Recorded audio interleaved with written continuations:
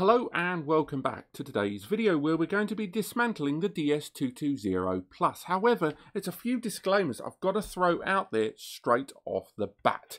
This video was originally recorded about three weeks ago. Unfortunately, when it was recorded, I had a whole mic set up, I had lots of lights with loads of, you know, lots of brightness here for us to utilize these devices and take a good look at them. And it was one of the first times I ever got to really unbox and dismantle one of the newer generation, where we found out a lot about what their memory was like inside, whether they were using two slots, whether they were using one slot, and of course, as we found out, the newer generation in my since you know recorded videos we've learned that a lot of the new generation synologies have soldered memory inside. So when that video was recorded all of this was quite new.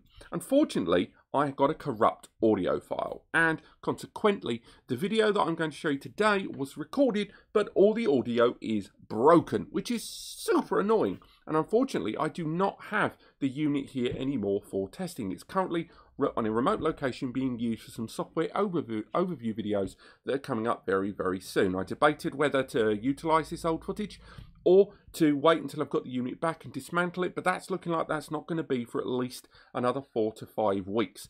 So rather than you guys have to wait to see what the inside of the DS220 Plus is going to look like, I've decided to utilize that footage and provide a fresh voiceover. So what do we expect from this video? Well, first and foremost, it is going to be a case that when my face is in it, because it's mostly just going to be this area here, um, I am totally going to not be in sync with my voice there. I'm barely in the video, it's all about the unit, and this is fresh voiceover that I've applied on top of it. Second thing, when I did record it, I had lots of light here so we could take a good, good look at the device, and in some cases the brightness is just a little bit too high. So I've played with the contrast a bit, but if you do want to see what the inside of the Synology DS220 Plus looks like, I strongly, strongly, strongly recommend for the most precise and most accurate um, images to go to the NAS Compare link in the description. We just got a full breakdown in today's video of exactly as we took it apart and lots of close-ups there of the internal hardware.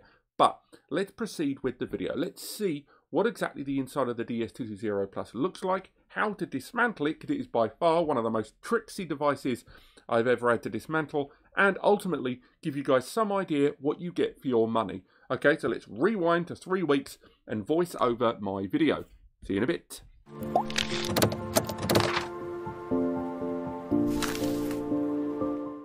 So we removed the front panel there from the DS220 Plus and you've got to make sure that you've got the hard drives removed from this device. It really is important to do that, largely because you're going to be moving this device around all manner of ways and if you've got your media still inside, notwithstanding that you want to get inside it, you could potentially damage that media. Now the same goes for that memory slot on the inside there. If you've got a memory module in there that's already upgraded on this device, make sure you've removed it because the problem is if that's in there, you might touch it, there might be static, you might get dirt or grit or just scratch it. So make sure you've removed it. Now, what I'm failing to say properly there on the video is regarding this screw. There's this tiny one screw at the bottom right and the four screws that surround that fan. Now, you don't have to remove the fan. The fan isn't essential to be removed, but that bottom screw is hugely important. That screw is what holds in that USB 3 port. Those of you that have caught my four, um, so my uh, 920 and 720 um, disassembly videos that were done after this one will know that that USB port is one of the uh, things that holds this frame together quite a lot. It's quite a small thing, but make sure you've removed that USB 3 port. Now, again, you don't have to remove this fan. The reason we remove the fan is just for ease. Later on, when you do want to slide these panels apart, that fan panel doesn't have to have the whole thing removed. A couple of screws is absolutely fine. But the reason I removed it for this is just because it would make things a lot clearer to you guys at home, and particularly the viewing angle. As I'm sure I've touched on, the brightness of this video is largely down to the fact that this is a very dark box and often when we're looking at the controller board we're looking at it at weird angles. So I know it looks like a nuke has sort of just gone off there in the background but it is just because I've ramped up the brightness of the surrounding lights in this recording area just to let you guys know. Now we remove the little cover there and again that's not the whole fan that's just the cover for the fan that fits to the rear of the casing because what we're trying to do now is make sure we can remove the side panel from the casing. Now you see those two clips I'm pointing at there? Those two are the biggest pain on this device. There's two clips that sit on that metal bar. Now they are the thing that's holding half of the chassis together now we've removed those screws the same design has been utilised in the 218 and the 216 before it. The idea is, is to leverage those two little plastic arms there over the metal bar without bending that metal bar. Now there's lots of things you can use. If you look to the right of the screen you can see that I'm utilising those two back plane metal clips. Although they're not designed for it, they are perfect for this task. You can also see that I'm using that silicon rubber mat. You need that for the friction against the base of the device. When you when you levy those two little plastic clips at the top, which is very hard to see here, what it does is allow you to slide the two parts of the chassis apart. We need that silicon mat so we can gain friction to the base because it's the smaller base portion we need to move.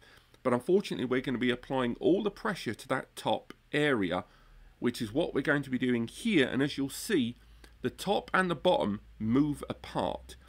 It's not an easy move and you have to be delicate, otherwise you are going to bend that metal bar. And if you bend that metal bar internally, not only are you damaging your NAS hardware, but on top of that, you are potentially stopping um, a hard drive going into that bay because the, the drive will slide over that metal bar. As you can see, we've almost got it removed, but now we have to make sure we've got the other clip removed as well. And what you'll find when you're removing one of those clips is the other one does not want to play the game. And I know it seems like I'm really labouring this bit, but if you are going to disassemble your NAS, which I don't recommend you do yourself because I'm doing this so you don't have to, that's going to be your biggest problem. And there you go, I've removed that top panel there, and that is probably the hardest point of this entire disassembly. That poor idiot there doing what he's doing didn't know at the time, but that was going to be the hardest point of this entire disassembly. Now, if we carry on looking, we can see here that the internal framework of those two bays is pretty straightforward.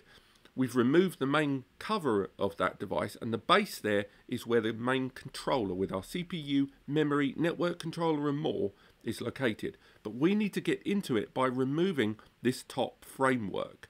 We need to remove that two bay frame chassis at the top there, which is held together by eight screws, two on either side, both Phillips head screws.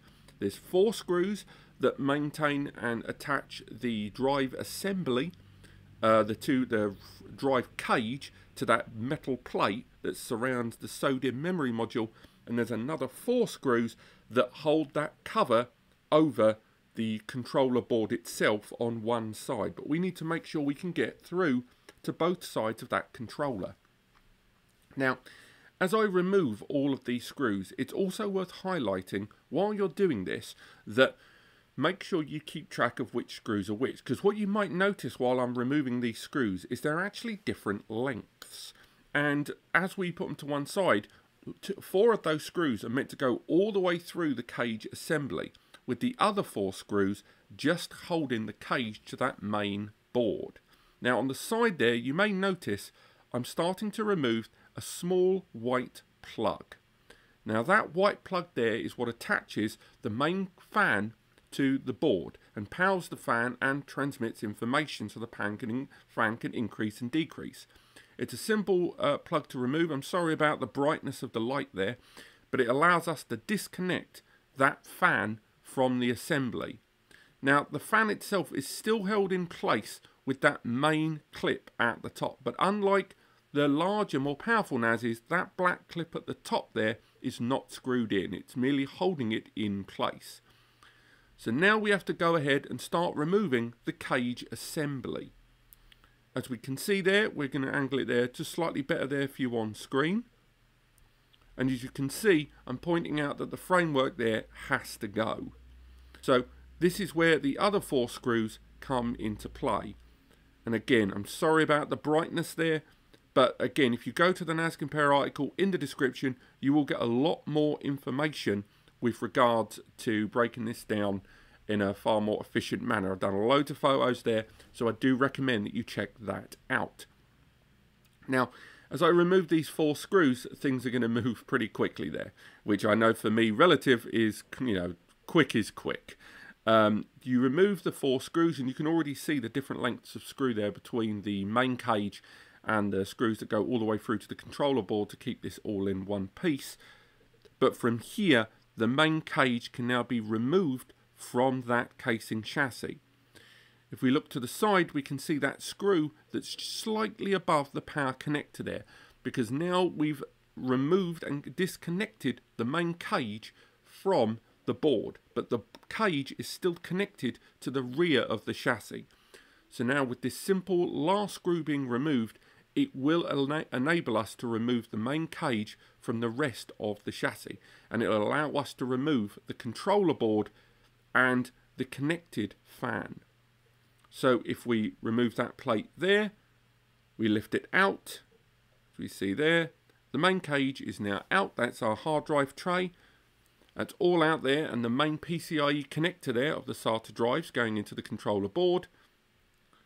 And there is the main PCIe connector that was connecting those SATA drives. That's how all the SATA transmission comes through.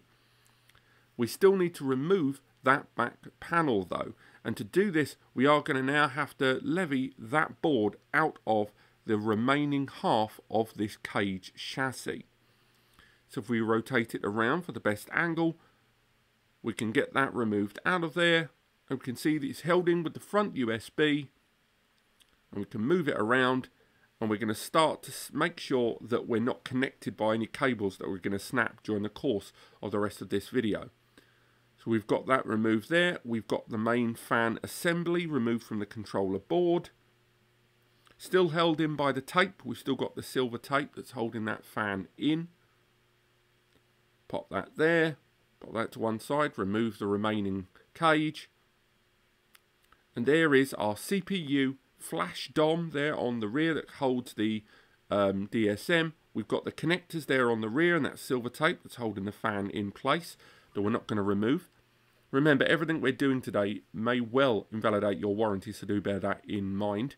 Um, if we take a good closer look at that controller board there, we can see the main CPU, that heatsink there underneath that CPU. We can see that area of flash there that holds our DSM. We've got the usual CMOS battery that you'd find on any motherboard generally.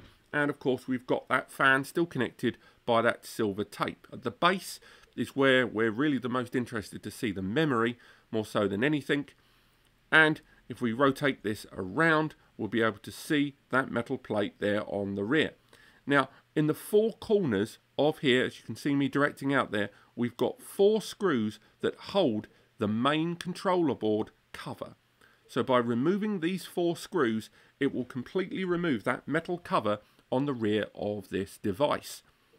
Now, as we remove it, the main metal panel will come off pretty easily.